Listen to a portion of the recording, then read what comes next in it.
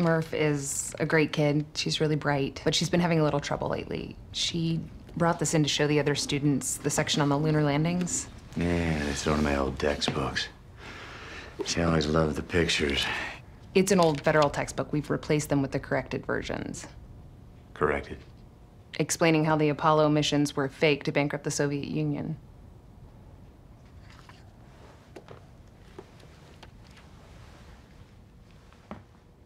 You don't believe we went to the moon? I believe it was a brilliant piece of propaganda that the Soviets bankrupted themselves, pouring resources into rockets and other useless machines. Useless machines.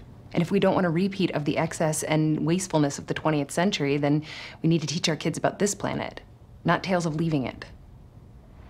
You know, one of those useless machines they used to make was called an MRI. And if we had any of those left, the doctors would have been able to find the cyst in my wife's brain before she died instead of afterwards. Then she'd have been the one sitting there listening to this instead of me, which would have been a good thing because she was always the, the calmer one.